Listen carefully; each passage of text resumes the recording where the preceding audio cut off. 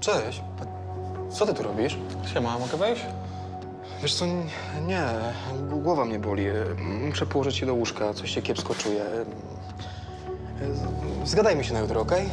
Kotek, jest już pizza? A, a to kolega, tak? Ja za chwilkę wrócę.